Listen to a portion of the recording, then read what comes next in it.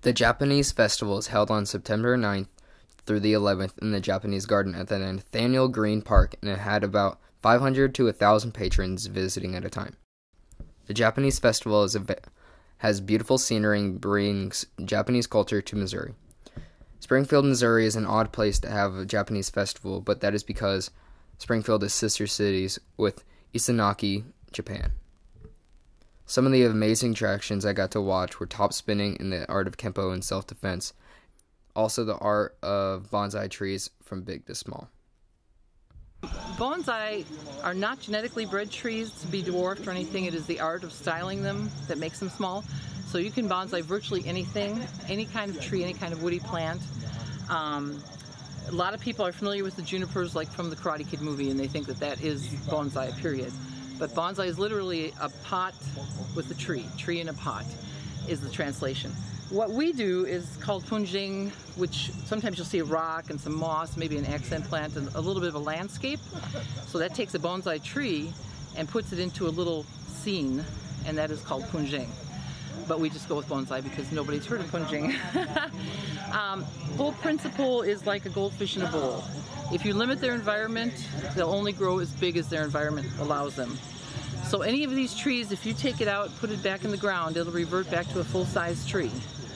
And as long as they're in a container, they'll stay that size for life. We've been at the festival for 20 some years. I've been doing bonsai for 35.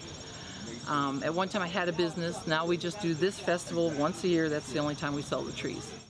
Don't forget that there's always area for a kid to play and has various attractions for kids. And Zay Zerka from Isaki, Japan, playing the flute, joined by two natives of Missouri playing ukulele.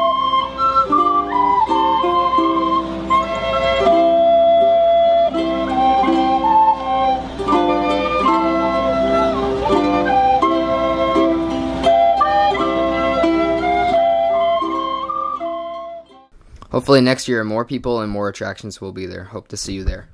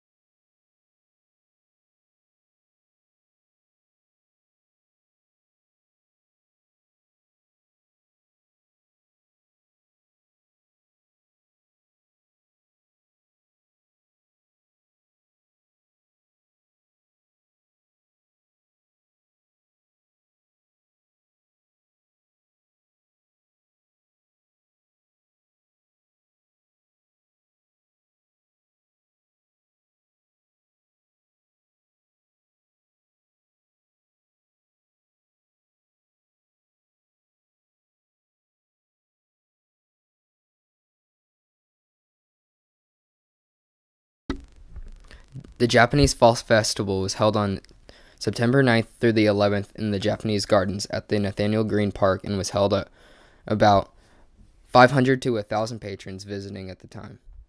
The Japanese festival has beautiful scenery, brings some culture to Missouri, and